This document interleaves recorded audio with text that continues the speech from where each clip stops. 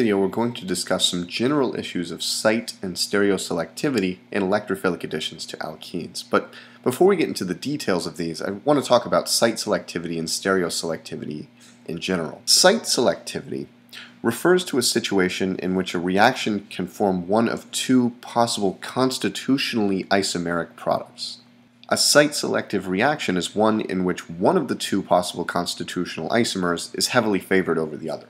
Stereoselectivity is similar in that we're starting from a common set of reactants, but now instead of two possible constitutional isomers, there are two possible stereoisomers that could form. And these might be enantiomers or diastereomers. In the context of electrophilic addition, we're interested in diastereomers. In many electrophilic additions, one diastereomer is heavily favored over another for mechanistic reasons. The site selectivity issue in electrophilic addition becomes clear if we consider an asymmetrically substituted alkene, one with two different sets of substituents on the two carbons involved in the double bond. And this is a general problem for any reaction that uses a bond as a nucleophile. When we use a bond which involves a shared pair of electrons, as a nucleophile, we have to make a decision about which of the two atoms involved in the bond retains the electrons after they're donated to the electrophile. Let's consider a very simple electrophile H plus here.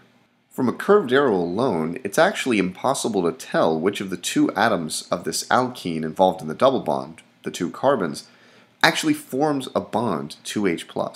Coordination of the hydrogen to the carbon on the right is going to leave a positive charge and this carbon on the left.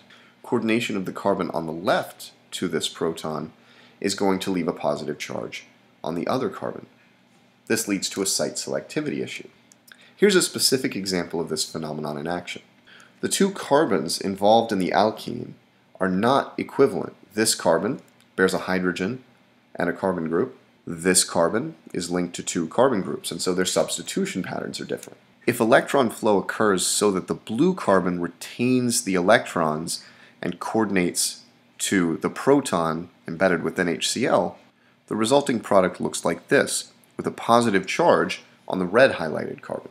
Of course, if the pi bond coordinates to the proton in such a way that the other carbon retains the electrons and actually forms a bond to hydrogen here, the product that we end up with is isomeric, constitutionally isomeric, with the one above. Now a new CH bond has formed at the other carbon of the alkene, leaving the top carbon, the carbon highlighted blue in the starting material, with a positive charge.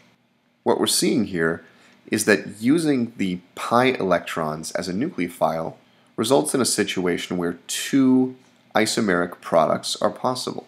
One thing I'll go ahead and mention now is that after chloride coordinates to the positively charged carbons, we still end up with isomeric alkyl halides. Chloride bonds to the carbon that had the positive charge in the carbocation intermediate.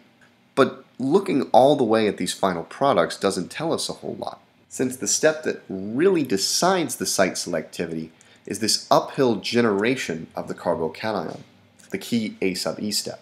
And this is true of electrophilic additions in general. It's coordination of the electrophile to the pi bond, an A sub E elementary step or analogous step that really controls the site selectivity in electrophilic additions.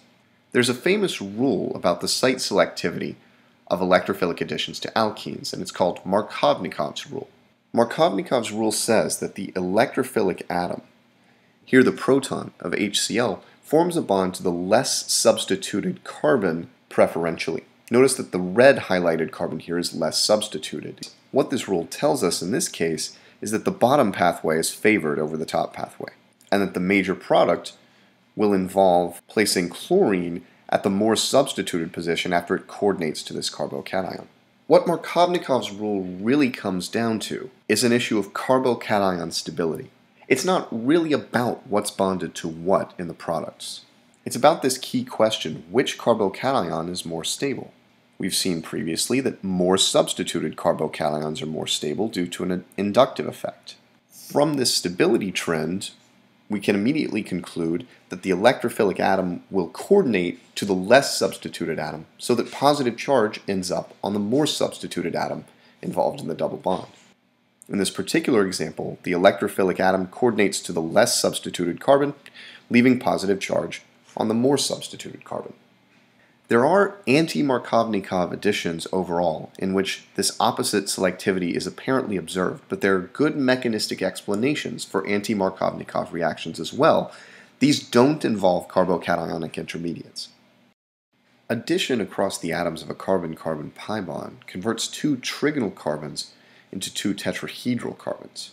And these tetrahedral carbons may well be stereocenters, if the starting trigonal carbons began with two different groups attached on their ends. This creates an interesting stereochemical issue. Because two stereocenters are set, we have the potential for diastereomers to form. And in the language of additions to alkenes, we talk about additions that add groups to the same side or opposite sides of the plane formed by the alkene. These are referred to as syn and anti addition, respectively. Let's look at some examples. In a syn addition, E and Y, both the electrophilic atom and the counter atom or leaving group, add to the same side of the double bond. Let's look at trans 2-butene, a substrate in which the alkene carbons will become stereocenters after the addition of an electrophilic reagent EY.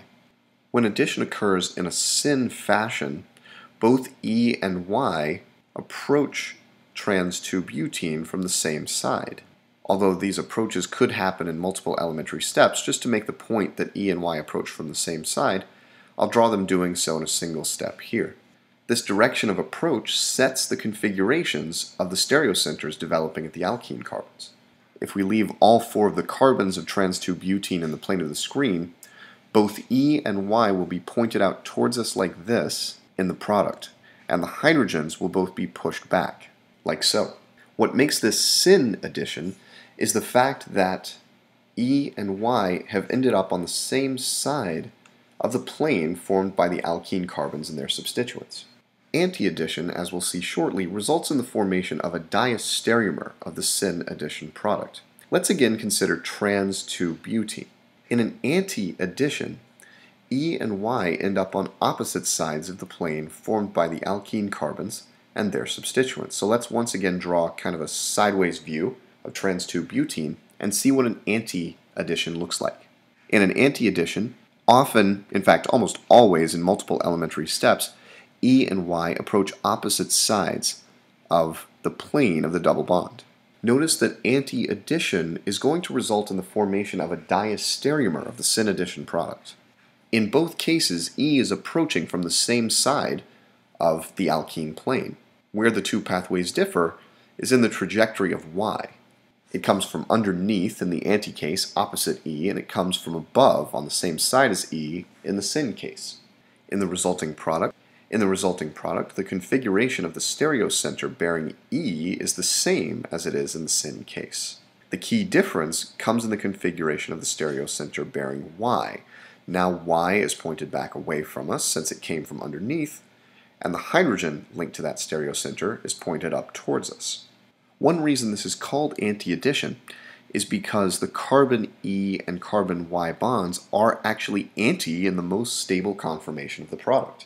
Notice that these two bonds have a 180 degree dihedral angle in this conformation. Most addition reactions are stereoselective or stereospecific for either syn or anti-addition, although some reactions give a mixture of the two.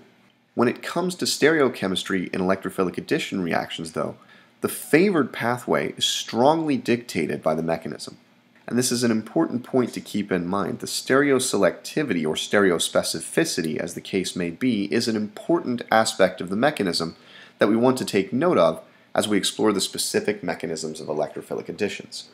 One final point to mention is that although the syn and anti-addition products for a particular reagent EY are diastereomeric, each of the molecules here in general is chiral, meaning it has an enantiomer that can form via approach of the electrophile just to the opposite face, right? Imagine if E approached from the bottom rather than the top in both cases. We would end up with enantiomers of what's drawn here. Enantioselective electrophilic additions are beyond the scope of Chem 2311 because they require either a chiral electrophile or some kind of chiral catalyst to bias one enantiomer over the other. So when drawing products of these reactions, it's always okay to focus on a single enantiomer. A racemic mixture of enantiomers is implied in cases when we generate a chiral product.